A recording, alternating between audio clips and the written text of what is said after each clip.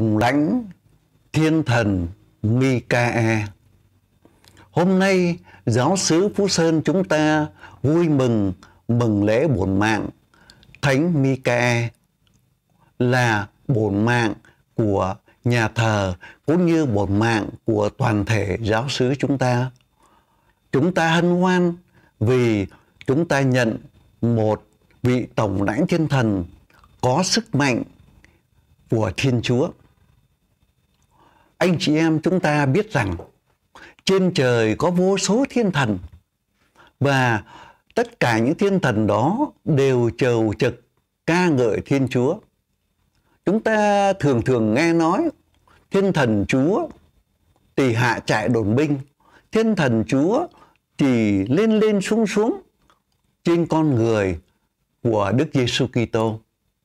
Và lên lên xuống xuống đó có nghĩa là các thiên thần chầu trực Chúa.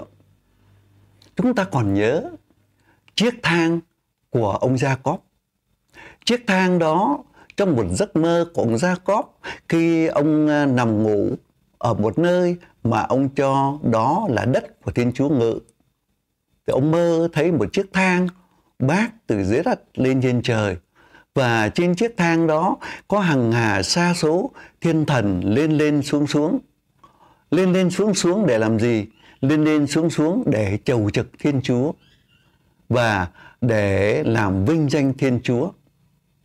Chúng ta cũng nghĩ tới ngày lễ giáng sinh, khi đức trinh nữ maria hạ sinh đức giêsu kitô nơi hang đá máng cỏ. Thì trong đêm Giáng sinh đó, có muôn vàn cơ binh thiên thần vang lên lời ca ngợi chúc tụng Thiên Chúa. Các thiên thần hát rằng vinh danh Thiên Chúa trên trời, bình an dưới thế cho người thiện tâm. Tất cả các thiên thần đều mang một sứ mạng cao cả là nối trời với đất, đồng thời là sự liên lạc giữa Thiên Chúa và con người, rồi giữa con người với Thiên Chúa. Các thiên thần cứ lên lên xuống xuống để chầu trực Thiên Chúa, nhưng mỗi một thiên thần đều có một sứ mạng riêng biệt. Chẳng hạn thiên thần bình thường thì có vô số thiên thần, các thiên thần đó chầu trực Thiên Chúa hàng ngày để làm gì để ca ngợi Thiên Chúa, để chúc tụng vinh quang Thiên Chúa, để làm cho Thiên Chúa được vinh dự. Còn có những thiên thần khác, chẳng hạn như thiên thần hộ thủ, gọi là thiên thần bản mệnh.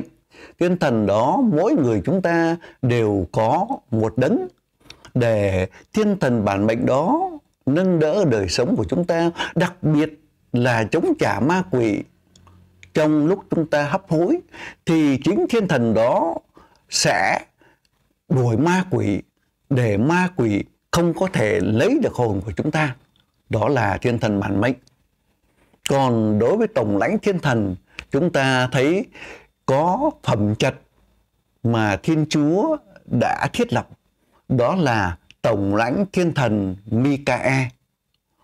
Tổng lãnh thiên thần Mikae, chữ Mikae có nghĩa là sức mạnh của Thiên Chúa.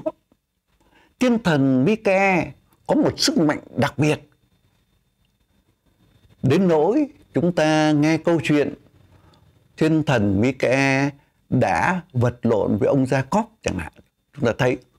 Rồi, rồi tổng lãnh thiên thần Raphael là một tổng lãnh thiên thần luôn luôn cứu chữa những con người bị bệnh hoạn thiên thần Gabriel là sứ thần truyền tin. Chính thiên thần Gabriel đã hiện ra truyền tin cho Đức Trinh Nữ Maria. Bởi bỡ ngỡ và bối rối vì mẹ Maria không biết đến người nam, có nghĩa là mẹ Maria không lấy chồng. Mẹ Maria giữ khấn giữ mình đồng trinh. Cho nên khi sứ thần Gabriel hiện ra với mẹ ở trong căn phòng mẹ đang cầu nguyện thì mẹ bỡ ngỡ và bối rối. Nhưng sứ thần Gabriel đã cắt nghĩa về ý định của Thiên Chúa. Mặc dầu mẹ Maria chưa hiểu ý định của Thiên Chúa là bao, nhưng mẹ Maria đã xin vâng. Tôi xin vâng như lời thiên thần truyền cho tôi. Chúng ta thấy đó là một lời xin vâng tuyệt vời, một sự một lời xin vâng đã làm đảo lộn cả thế giới, đã làm đảo lộn cả lịch sử nhân loại và lịch sử cứu độ đã được bắt đầu khi mẹ Maria nói lời xin vâng, chấp nhận thụ thai con của mình là Giêsu trong cung lòng của mẹ bởi phép Chúa Thánh Thần. Chúng ta thấy lịch sử cứu độ đã bắt đầu từ lúc đó và chúng ta thấy mẹ đã được lãnh nhận ân cứu độ đầu tiên. Cũng như khi bà Isabe đã mang thai con trong lúc tuổi già, khi ông Zakaria ở trong đền thờ cầu nguyện, thì ờ, thiên thần Chúa đã hiện ra và nói ông Zakaria rằng vợ ông sẽ sinh con. Nhưng ông không có tin. Bởi vậy, sứ thần đã làm cho ông ấy câm cho tới khi bà Elizabeth sinh đứa con.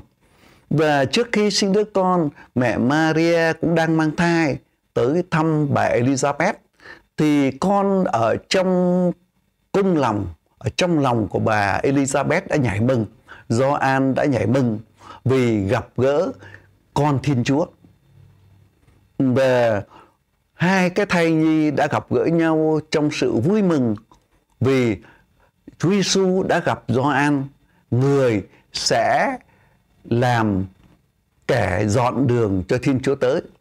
Đồng thời Gioan cũng rất vui mừng vì gặp được Đức Giêsu là đấng cứu độ nhân loại.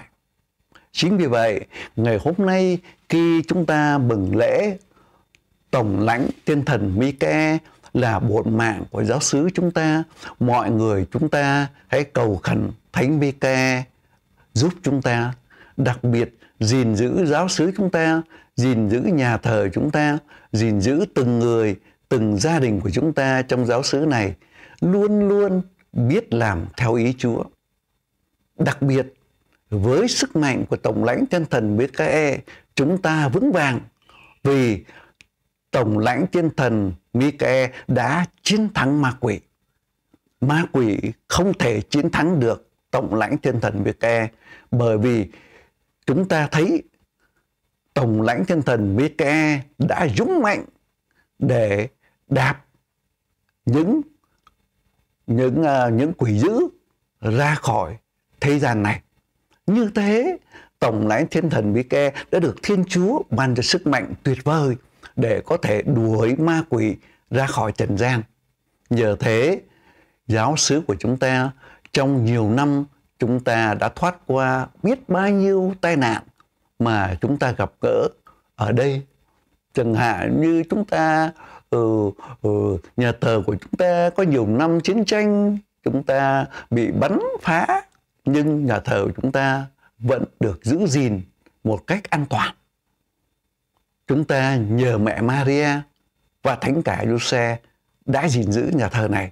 Đồng thời nhờ tổng lãnh thiên thần Mika đã gìn giữ nhà thờ này chính vì vậy nhà thờ của chúng ta luôn luôn an bình bởi vì chiến tranh không thể phá tan được nhà thờ bởi vì khi mà chiến tranh uh, uh, xảy ra lung tung thì uh, chẳng hạn người ta bắn người ta pháo chỗ này chỗ kia nhưng mà nhà thờ chúng ta không bị trúng đạn và nếu có trúng đạn thì cũng cũng nó cũng rất là nhẹ mà thôi không có hề hấn gì chúng ta tạ ơn Thiên Chúa vì những điều Thiên Chúa đã làm cho giáo xứ chúng ta. Amen.